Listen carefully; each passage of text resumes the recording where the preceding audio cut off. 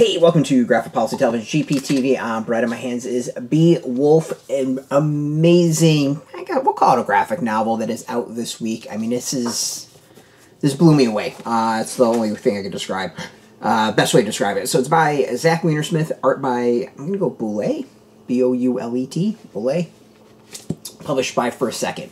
Uh, so this is a riff on the classic Beowulf. Um, you know, many of us probably had to read it in maybe high school or college. Uh, and yeah, this is just really an updated version. It uh, involves a bunch of kids and their neighbor Grindle, the evil Mr. Grindle, who with a touch makes kids serious. So um, they go from their kid-like partying in their treehouse to being all serious due to Mr. Grindle. Mr. Grindle named that because his father was Mr. Grindle and his mom was Mrs. Grindle, and that's how names work. Uh, it's this is wonderful. I mean, it's probably it's got to be twenty something years, twenty over over twenty years since I've read Beowulf. Um, I vaguely just remember, uh, you know, hero going and fighting a monster, and that's about what I remember. Uh, so this is this has been interesting diving back into it. Uh, one, partially because I don't remember the original story, so yeah. Uh, but the other is it's done. I done. I think in a lot of how the like the original translation worked. I mean, it, I don't think we can read, or I know I can't read the original uh, uh, language it was in. It kind of seems to be gibberish to me. And how do I know that? Because in the back of the book, it gives examples of that. Um, but this the story's wonderful. I mean, it's a bunch of kids fighting a monster.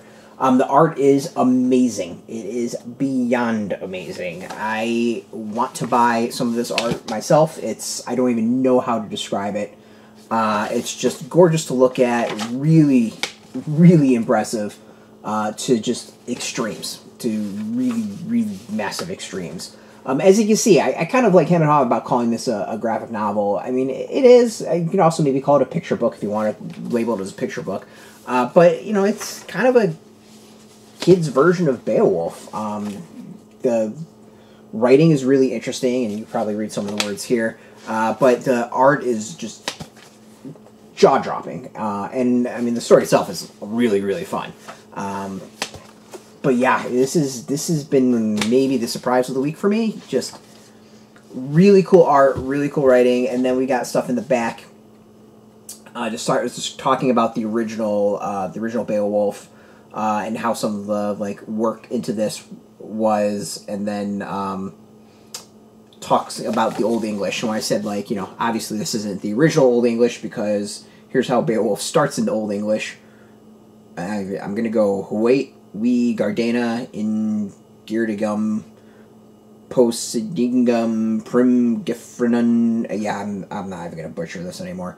Um, yeah, this it's just good. Uh, the other is this isn't the full Beowulf. Beowulf is is pretty massive. This is like a third, like one third of probably the overall story, but you get the general sense of what's going on. Um, for those who want to know, the dust jacket is really cool. You can see that cover, but if you take that off, you also get this, which is pretty amazing unto itself. So um, overall, like packaging's fantastic on this. Uh, the art is amazing. The story is obviously a classic.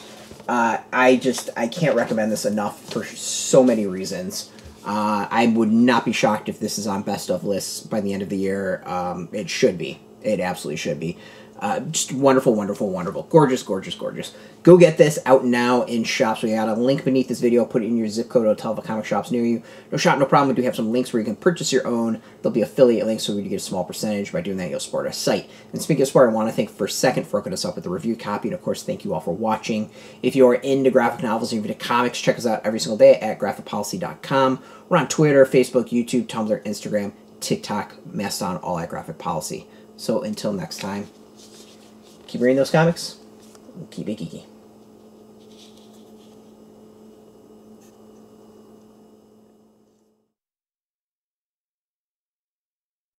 Hey, thanks for watching the previous video from Graphic Policy Television. Just by watching, you help support our site. Thank you so much. Now, if you're watching these videos, you probably care about geeky things like movies, television, comic books, toys, games, video games you name it. You can go and subscribe right now to our YouTube channel to stay in touch and catch all the new videos, or check out our website at graphicpolicy.com. There's a nice link on this end of the video. But as always, thank you for watching. Keep on rocking and keep it geeky.